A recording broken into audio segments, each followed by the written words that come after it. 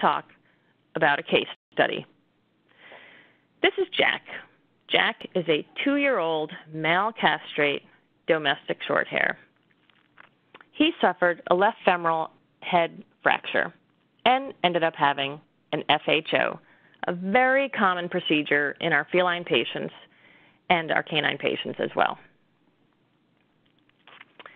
So Jack went to rehab and he had a lot of left thigh atrophy and definitely he was uncomfortable. He'll place his left hind leg, but he bears the majority of his weight on his other three limbs. And that way we know that those other three limbs are going to be uncomfortable because they're carrying the weight of the left hind. Muscle tremors were noted on the left proximal hind limb. We're going to do range of motion. And during our range of motion, we actually measured the ability of each of his joints to flex and extend, comparing left and right to normal. So his hip flexion, left and right, were very different. And we actually then measured the circumference of his thigh muscles, and the left was 22 centimeters around, the right was 26. So, four centimeters difference of muscle atrophy. So, what did we do that first day? Well, Jack got some heat so we could stretch out and um, give those collagen fibers a little elasto, um, elasticity. We did range of motion because we know that we want to target each one of those joints, and Jack is not really willing to do that, so we need to do it for him. He got massaged and he got laser therapy. What did he do at his consult? he went over an obstacle course, he did cavaletti rails, he did balancing on a disc for 20 seconds, he did the three leg standing twice, and he walked up the ramp once. So, this is just going to demonstrate to you what you can do with your feline patients. So that's Jack. He looks a little, maybe not so happy about having to exercise. What are our goals? We want to control his pain, so he puts more weight bearing on his left hind leg. He stops relying on all the other ones, which he's going to have discomfort in. And we want to actually increase his left hind thigh girth. All right, Jack, let's go. So, what do we plan to do each time that he comes in, and what are we going to give to the owner or the handler to do in between his visits to his vet? We're actually going to use our neuromuscular stim to those atrophied gluteals and hamstrings, because if he's not going to make those muscles contract, that very inexpensive machine will. We're going to actually warm up those tissues so they have more elasticity. We're going to do passive range of motion, and we're going to massage his left hind. We're going to give laser to the left hip. We're going to do our exercises consisting of, on any given time, obstacle courses, cavalettis, balance disc, different legged standings, playing with the cat toys.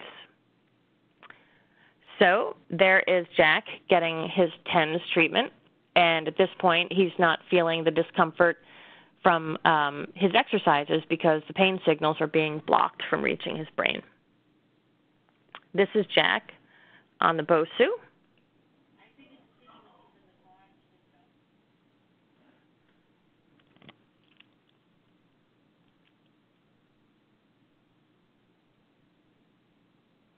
And we had um, a very nice rehabilitation unit, and what we decided to do, since many animals weren't food motivated, or the whole point of them coming in was to lose weight, is to actually clicker train our patients when they came in. And Jack actually did get clicker trained. And apparently Sharpie trained. Here's Jack going over the Cavaletti rails. You can't hear, but she is actually clicking. She's got a clicker in her hand. And here's Jack going over the Cavaletti rails. Pretty good. He's got increased range of motion going over them. He doesn't mind going over them. Looks like he's actually enjoying his time.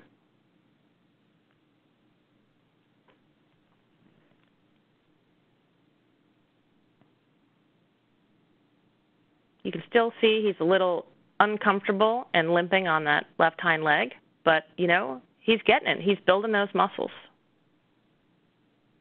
And those are actually all different heights to get him to think about where he's actually placing his feet, those cavaletti rails. This is our obstacle course, which you can make with anything you have. Just put a protective covering or a yoga mat so it's not slippery. Now, interestingly, when Jack first came to see us, he um, he did have a behavior change. He was not um, a happy cat, and uh, he was a hisser. And uh, he really, um, after a couple of visits, got um, got his needed pain relief, and ended up actually kind of enjoying his rehab sessions, and was much more of a friendlier cat. Now, as we know, working with um, cats and dogs, there is a difference. But I will tell you that um, Jack actually became one of our star patients.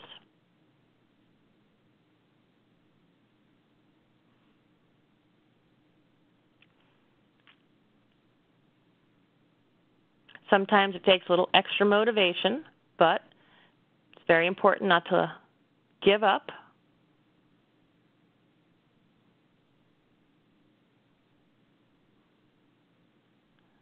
Just those simple movements of doing that, putting all that weight on his hind legs. It's pretty good exercise for a guy that probably doesn't do that that much. There we go. So that's awesome. Took a couple minutes, but we can do it. And underneath that is actually a peanut. So even though it is somewhat stable under the yoga mat, it is actually um, making them strengthen their core as well as their hind limbs.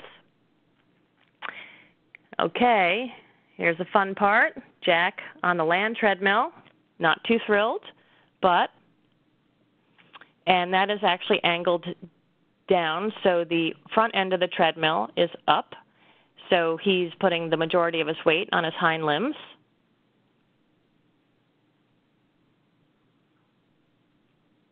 But he gets the hang of it.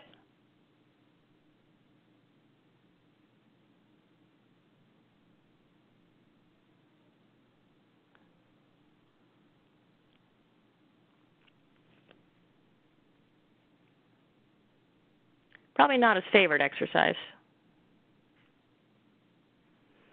But Jack graduated from our program and uh, went on being pain free, which is great. This is actually one other patient, but just notes that some animals, some cats don't mind the water. This is Oscar, and this is actually a hydrotherapy tub. Um, but uh, some cats do swim, and uh, Oscar came in for his uh, pain control and was actually in the tub quite a bit. Not his favorite in the beginning, but um, certainly um, you can see his left hind leg there is a little shaved there. And in this nice heated water, the therapist is actually able to do the passive range of motion and sort of exercise and massage that left hind leg that would be much more uncomfortable to do out of that nice analgesic water bath.